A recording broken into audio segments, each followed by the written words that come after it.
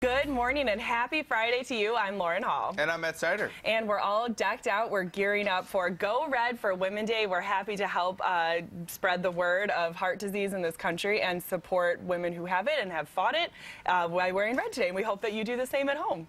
We also, as the world gears up for the Winter Games, we decided we wanted to take a little peek as to how it you know, you make that transition from the sport you love to being a medal winning athlete. So I've got the story on a local girl who is making some major waves in the sport of ice dancing. That's right. We also want to say welcome back to the kitchen to our friends from Orchard Fresh and Orchard Park as we talk about preventative measures against heart disease today. We are going to learn another heart healthy recipe. Now let's head over to Matt to see how people around here are gearing up for the Winter Games.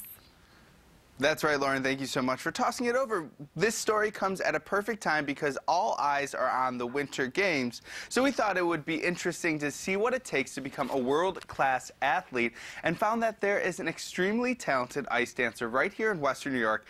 I met up with the rising star to hear her journey, so let's take a look. There's a lot that comes between finding the sport you love and winning honors, medals, and trophies. And today we're going to find out what it takes to become a nationally ranked athlete. Well, I think from the moment I stepped on the ice, I always knew that I wanted to be a skater. In order for Kaitlin's ice dancing career to take off, both Kaitlin and her family needed to make a few sacrifices. This included picking up their lives and moving to Detroit. I think the moment that I really took off with my career was when I chose to move to Detroit, Michigan um, to train with some of the best coaches and skaters in the world and, you know, just um, focus all my energy on skating. With three major training facilities located in Michigan, Detroit has become one of the largest centers for elite ice skating training in the world. This move required some adjustment on Kaitlin's part. When I first moved to Detroit, there was it was just uh, right before the last uh, Olympics in Vancouver, and uh, when I first moved there, I had never like witnessed or experienced any of that caliber skating. So to me, it was a bit of a like a wow moment, like looking around and watching all of the skaters just and seeing the caliber of skating. For athletes at advanced levels, the sport they love becomes much more than a hobby.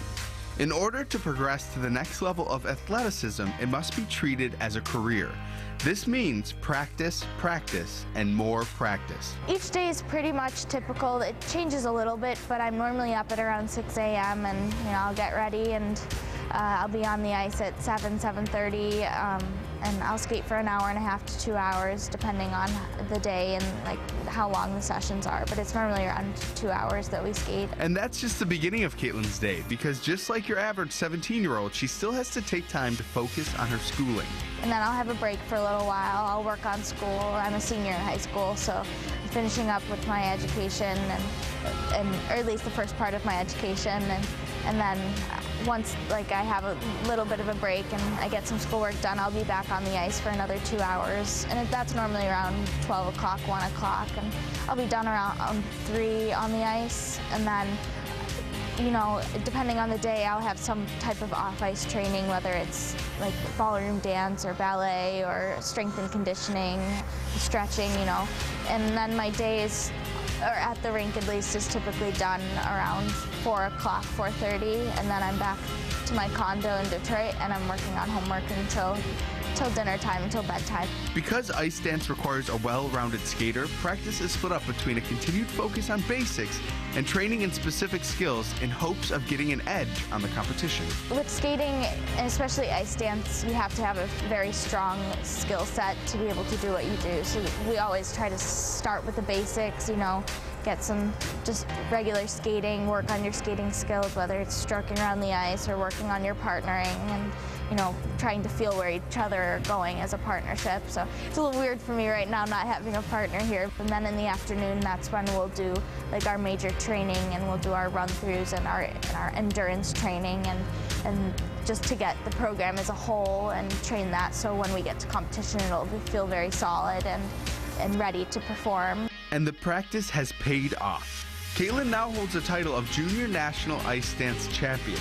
And while one might think that this is because the talent she was born with, Kaitlin will humbly tell you that it's because of much more than that.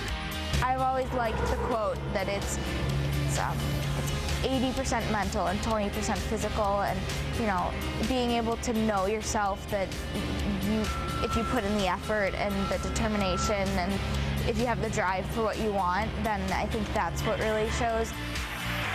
You know, Kaitlin spent so much of her time focused on ice dancing, she's moved away from home for it. So I had to ask her if she, you know, sort of wishes she had a chance to do all of the normal teenager stuff, like going to school and, and going to prom and talking to, like, you know, friends and all that stuff.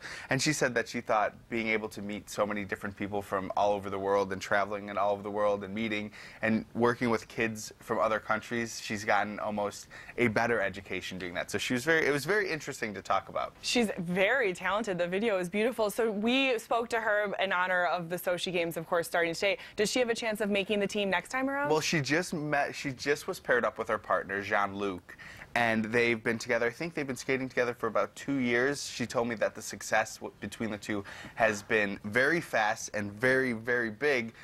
So, you know, it's another four years until the games. So, if they've been doing so well for these two years, I can only imagine where they'll be in four years. And I think there's there's big hope for uh, some promising athletes coming from Western New York. Could watch that video all day. So it's elegant and beautiful. What a beautiful a sport. Yeah, yeah, with so much strength behind it. That's that's talent right there. You right make there. it look easy, right? Okay, thanks. Great story, Matt. We're gonna take.